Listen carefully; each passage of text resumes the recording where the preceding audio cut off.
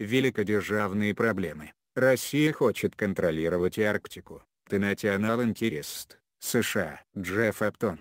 Наtional Interest. США. 28 апреля 2019 года. Градус напряженности за полярным кругом растет. В этом месяце российское правительство вызвало раздражение в Вашингтоне, предъявив свои права на Северный морской путь, СМП. Этот водный маршрут, идущий от границы России с Норвегией до разделяющего Сибирь и Аляску Берингового пролива, становится одной из самых важных торговых артерий в мире. Новый закон требует, чтобы все иностранные военные корабли, пользующиеся этим маршрутом, получали у России разрешение на проход как минимум за 45 дней. Причем Москва может утверждать заявку или отвечать отказом на свое усмотрение. В случае несанкционированного прохождения Россия может арестовать корабль-нарушитель или даже уничтожить его. Значительная часть СМП проходит через исключительную экономическую зону России. Это 200-мильная морская полоса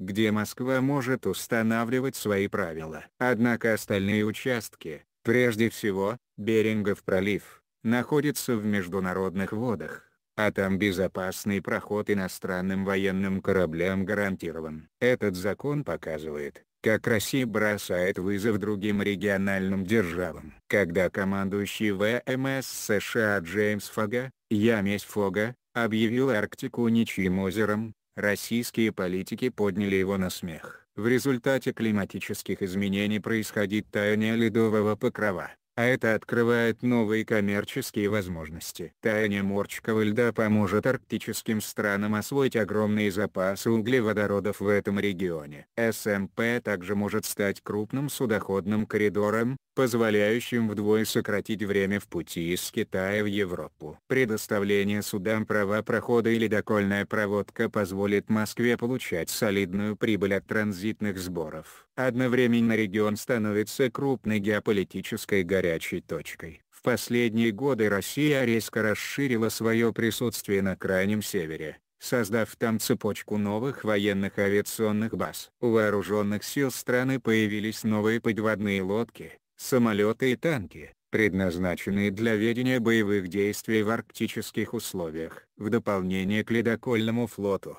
насчитывающему 40 судов, Россия строит еще 8, в том числе, два военных корабля ледового класса с крылатыми ракетами. Эти суда позволят ВМФ России реагировать на угрозы безопасности, содействовать зарождающейся коммерческой активности и защищать исключительную экономическую зону России. В отличие от российских вооруженных сил, американские войска настолько плохо подготовлены к выполнению задач в Заполярье, что это вызывает насмешки у российских военных экспертов. К северу от полярного круга у США нет ни одной крупной базы. У них также нет самолетов и боевых кораблей способных действовать в условиях таких низких температур. В еще более плачевном состоянии находится ледокольный флот ВМС США, сократившийся до двух судов. Члены экипажа единственного американского тяжелого ледокола «Полярная звезда» Polar Star в прошлом году едва избежали катастрофы, когда ледяная вода начала поступать в трюм корабля через прорехи в корпусе которому уже 42 года. Три года назад после взрыва генератора инженерам пришлось придумать новую деталь,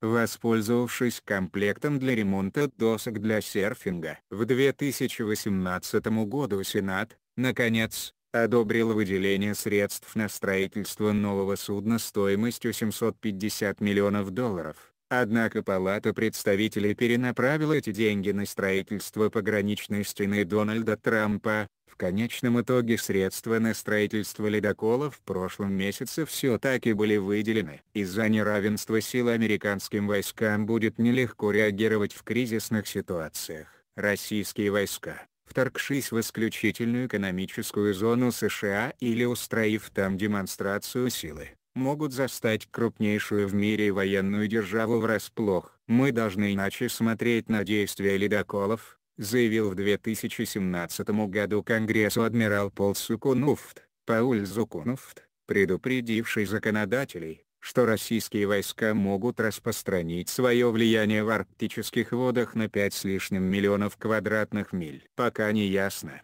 Сможет ли арктический гамбит Москвы принести ощутимые результаты? Благодаря потеплению разрабатывать месторождения полезных ископаемых будет легче, но снижение цен на сырье и американские санкции, которые ограничивают России доступ к технологиям, используемым в геологоразведочном бурении на арктическом шельфе, могут сделать эти проекты нерентабельными. Между тем, вспомогательная инфраструктура СМП, например, модернизированные порты для торговых судов, будет готова не раньше чем через 10 лет. Кроме того, из-за огромных начальных затрат испытывающему финансовые затруднения российскому правительству, возможно, придется уступить свое первоначальное господство Китаю, который в прошлом году обнародовал планы по расширению своей инициативы «Один пояс». Один путь до Северного полюса. В обозримом будущем Арктика будет лишена того геополитического значения,